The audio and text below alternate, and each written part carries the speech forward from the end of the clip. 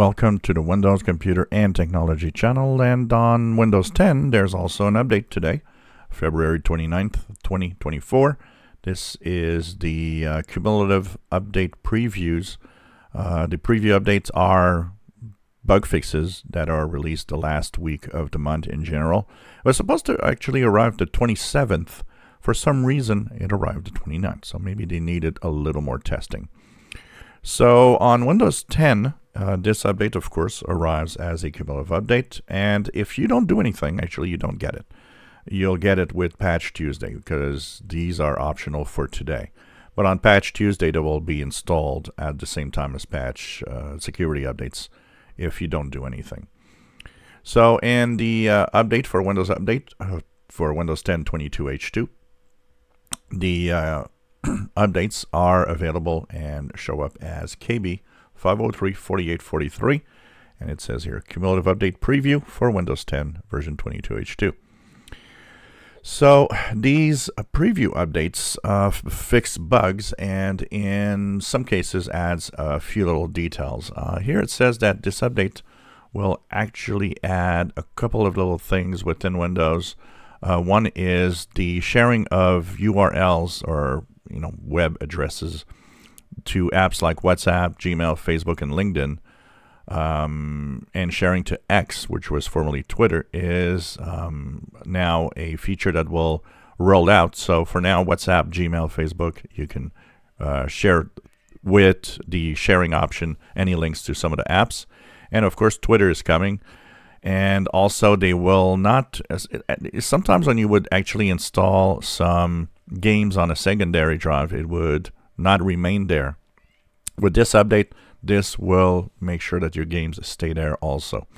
And the Windows Backup app will be only visible to the markets where it actually works before it was on every computer.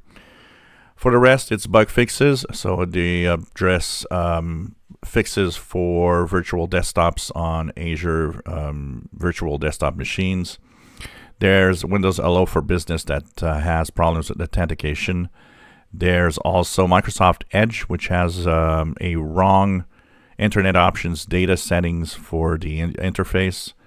Um, apart from that, nothing much. Remote desktop web authentication. You might not be able to connect uh, to some uh, sovereign cloud endpoint. So you could see that there's really nothing much happening actually in here, and that it doesn't uh, fix really any major issues, basically. Once this is done, you can check out if you have the latest version of Windows 10.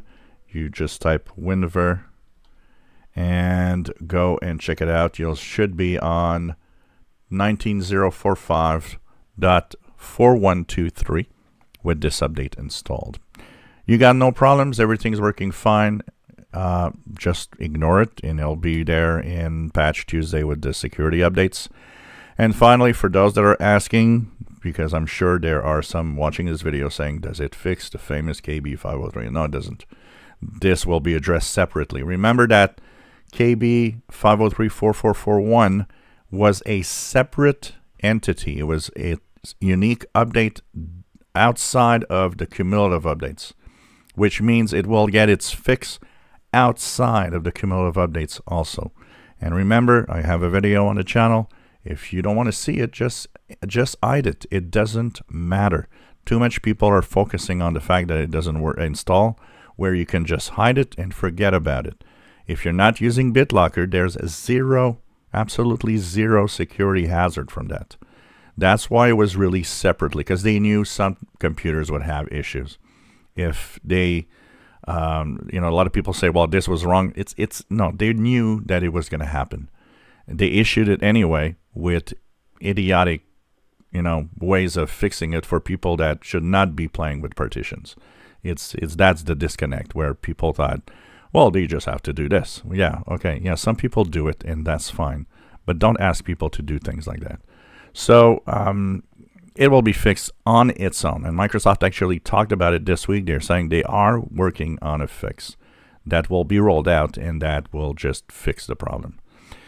So don't worry about it. If you enjoy my videos, please subscribe, give us thumbs up. Thank you for watching.